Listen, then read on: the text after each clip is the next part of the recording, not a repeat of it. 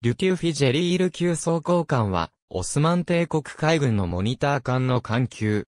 本級は、オスマン帝国海軍が、自国の沿岸防御のために、フランスのジロンド造船所に2隻が発注された、モニター艦である。写真は、フフズ・ラフマーン。低還元の船体に、スリットの入った砲塔が乗っている。船体の基本構造は3本のマストと、船体中央部に環境と1本煙突を持つ、ターレット形式モニター艦として建造された。艦首水面下に昇格を持ち、沿岸に接近して、支援砲撃ができるように喫水の浅い船型が選択されたが、外洋航行もこなせるように艦首に、船首楼と船尾楼を設けて、船体中央部よりも還元を高くして、しのげ波性を向上させていた。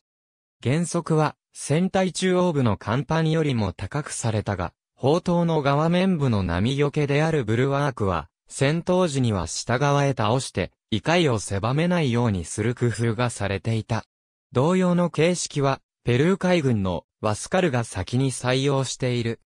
本級の特徴としては、他のオスマン帝国海軍の装甲艦と違い、当時では、珍しい旋回砲塔を船体中心線上に2機を搭載する先進的な旋回砲塔艦であり、従来のケースメート形式の砲配置よりも広い社会を得ることができた。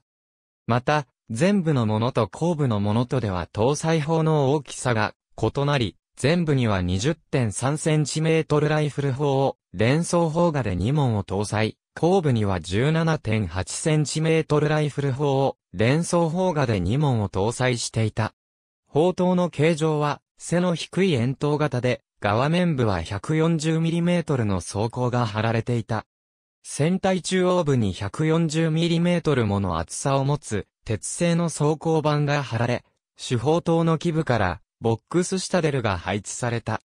ボックスシタデルとは弾薬庫や機関を守るために箱状にに装甲を配置する当時の防御様式で、最大で 140mm もの厚さを持つ装甲をリベットで組み立てられていた。